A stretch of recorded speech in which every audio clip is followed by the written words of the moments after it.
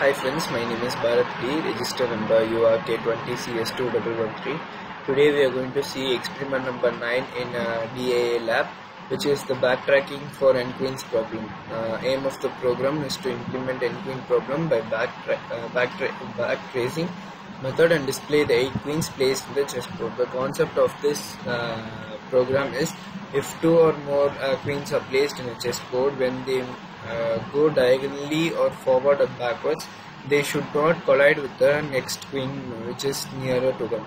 Uh, likewise if there are four queens uh, the four queens can go diagonally and also uh, front and back uh, but they should not collide to each other this we need to find the places where we can place the queens where they could not collide this is the concept of the program. Uh, let's see the algorithm. Enter the number of queens. Place queens in a place where there are no queen inputs check if the queen is in a row or a column or diagonally. Uh, uh, if if no queen is placed then the solution is true. If uh, if uh, it is not true then queen can't be placed. Do for all the arrangements if in the middle steps and display uh, n into m matrix. Now let's see the code. Uh, this is the code. First we get the user input as they enter the number of queens. To find how many queens is to be needed then we have two functions is queen and queen where we have two for loops whether it is true or uh, whether it is false. If it is true we can place the queen there. If it is false we could not place the queen there. Here we have i comma k equal to 1 or board k uh, or board k comma j equal to 1 here is the def queen uh, the variable uh, def queen. If n is equal to 0 then it is true it could be placed.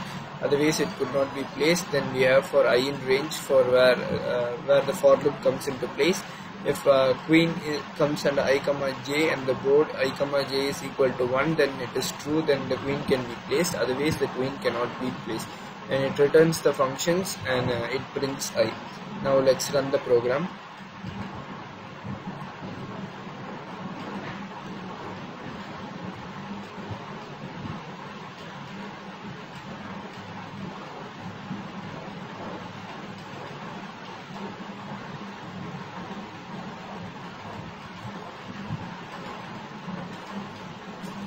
Now let's enter 8 queens.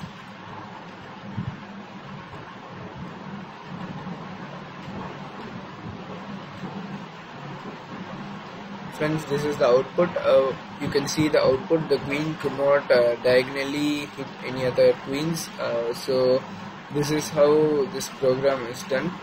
Thank you friends.